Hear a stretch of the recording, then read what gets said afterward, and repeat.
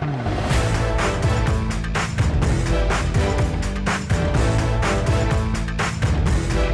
Herzlich willkommen zu der allerersten Ausgabe vom allwöchentlichen Wahlbarometer. Hier erfährst du alles, was gelaufen ist im Wahlkampf, wo jetzt langsam aber sicher in die heiße Phase geht. Also fangen wir an bei der FDP. Dort scheint die Kommunikation ziemlich wichtig im Moment. Sie haben eine kurzfristig einberufene Pressekonferenz, nämlich die SP, frontal angegriffen.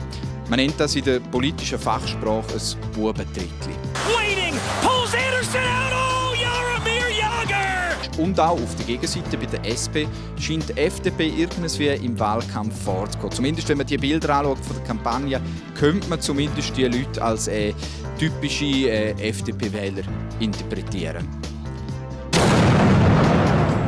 SVP wiederum, die sorgt sich in erster Linie um die Unterhaltung der potenziellen Wähler. Und damit ist nicht nur die unfreiwillige Unterhaltung gemeint, die passiert, wenn sich SVP-Politiker äußern, sondern auch zum Beispiel das Spiel, das man findet auf der SVP-Webseite, wo man mit dem berühmten, aus Liedkunst bekannten Hund Willi kann sein Eigentum gegen böse Ratten verteidigen. Ich habe es ausprobiert und es macht wahnsinnig Spaß, also Unterhaltung gelungen.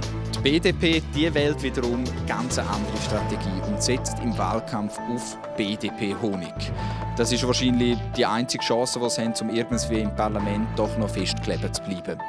Die CVP will sich jetzt, wie man hier sieht, wieder mehr auf das C, auf das Christliche im Namen berufen. Ich weiß nicht, ob es damit wichtige Kirchenvertreter können überzeugen aber vielleicht können sie ja auf äh, die prominente Unterstützung zählen. Ganz viele Kandidaten, die sich also bewerben für Sitz im Nationalrat, Ständerat, aber es gibt auch die, die aufhören, die zurücktreten. Und mit dem haben im Moment die Grünen zu kämpfen. Weil der beliebte Nationalrat Geri Müller hat gesagt, er mache nicht mehr weiter und da gilt es jetzt einen Ersatz zu finden. Ja, was schon klar ist, ist, dass mit dem Abgang von Geri Müller die Politik in der Schweiz sicher um ein gutes Stück weniger transparent wird. Das war es von deinem ersten Update zu der heißen Phase des Wahlkampf. Mach im Voting mit, wo du kannst sagen, welche Partei es jetzt in deiner Ansicht nach bis jetzt am besten macht und dann siehst du, ob der Wahlbarometer dein persönlicher eher nach rechts oder nach links ausschlägt.